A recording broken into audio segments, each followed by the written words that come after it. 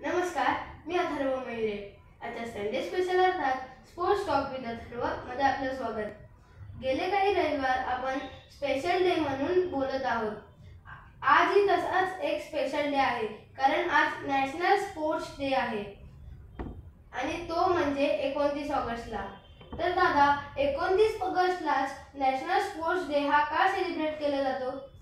एकोणतीस ऑगस्ट म्हणजे आपले जे माझी माजी कॅप्टन होते हॉकीचे मेजर ध्यानचंद. त्यांचा आज बड्डे असतो एकोणतीस ऑगस्टला. त्यामुळे आपल्याला आपण हा नॅशनल स्पोर्ट्स डे सेलिब्रेट करतो. ते जे हॉ- हॉकी जेव्हा ते खेळत होते त्यांनी इंडियाला खूप गोल्ड मेडल जिंकून दिले ऑलिम्पिक्समध्ये. ते हॉकीचे जादूगार पण होते. त्यांना असं बोललं जायचं की हॉकीचे जादूगार आहेत ते. त्यामुळे त्यांच्या आठवणीमध्ये आपण हा एक नॅशनल स्पोर्ट्स डे सेलिब्रेट करतो. दादा आपला नॅशनल गेम कोणता आहे? इंडियाला असा कुठला नॅशनल गेम नाही आहे पण शाळेमध्ये सगळ्यांना सांगितलं जातं की हॉकी हा आपला नॅशनल गेम आहे. जसं नॅशनल अँथम आहे नॅशनल बर्ड आहे तसं सांगितलं जातं की हा हॉकी हा आपला नॅशनल गेम आहे.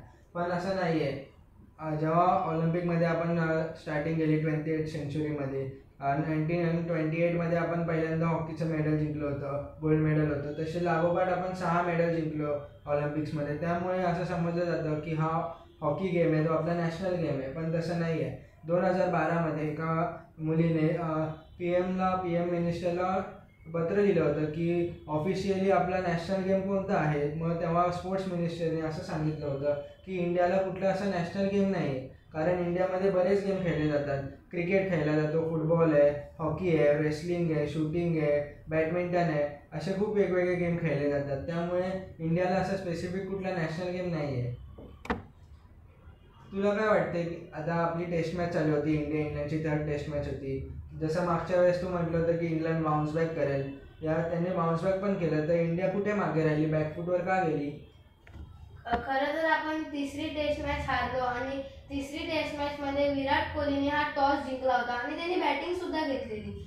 आणि बॅटिंग घेऊन आपण बॅटिंग जेव्हा करत होतो तेव्हा आपल्या बॅट्समनचे पेशन्स कमी पडला त्या फर्स्ट इनिंगमध्ये आणि त्याच्यामुळे आपण अराउंड फोर्टी ओव्हर्स खेळून सेवन्टी एट रन्स करून ऑल आऊट झालो. तसेच जेव्हा फर्स्ट इनिंगमध्ये इंग्लंडची बॅटिंग होती तेव्हा त्यांचे बॅट्समन असे खेळत होते जसं का त्या बॅटिंग पिचच वाटत होतं. जसं जो रूटनी हंड्रेड तिसरं हंड्रेड केलं सिरीजमधलं परत हसीब अमितनी हाफ सेंचुरी केली बर्न्सनी पण हाफ सेंचुरी केली डेव्हिड मला मलांनी सत्तर रन केले. तसंच काही इंग्लंडचे चांगले बॉलर्स पण होते. जसं का जेम्स अँडरसन एक पेस बॉलर होता. तसंच ऑली रॉबिन्सन होता. यांनी चांगली बॉलिंग टाकली ऑली रॉबिन्सननी तर त्याचा हा सेकंड फाय विकेट हॉल होता. आणि तो आत्तापर्यंत पाचच टेस्ट मॅच खेळला आहे. आणि दुसऱ्या इनिंगमध्ये ज्या पहिल्या इनिंगमध्ये चुका झालेल्या ते बॅट्समननी रिपीट नाही केल्या. जसं रोहित शर्मा होता चेतेश्वर पुजारा होता आणि विराट कोहली होता. जसा चौथा दिवस आला तसा इंग्लंडच्या कॅप्टननी जो रूटनी नवीन बॉल घेतला. आणि नवीन बॉल घेऊन जो ज्या आपल्या विकेट्स पडत राहिला जसं पुजारा नाईन्टी वनवरच आऊट झाला. आणि तसंच आपली पूर्ण इंडियन टीम ऑल आऊट झाली. कारण नवीन बॉलनी इंग्लंडचे बॉलर्स खूप चांगले बॉलिंग टाकत होते. आता पुढची जी टेस्ट मॅच येणार आहे चौथी टेस्ट मॅच आहे दोघांकडे वन वन पॉईंटचा लीड आहे. तर इंडिया कमबॅक करेल असं वाटते का तुला? परत जिंकायचे चान्सेस आहेत का इंडियाचे हो मला वाटते की इंडिया कमबॅक करेल. कारण आता इंडियावर प्रेशर असणार आहे सिरीज जिंकायचं.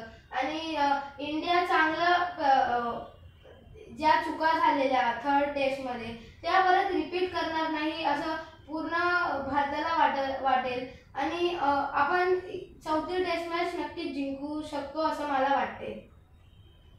तर दादा आज आपण खूप छान गप्पा केल्या. तर पुन्हा भेटूया एका रविवारी नव्या विषयासह. तोपर्यंत बाय बाय.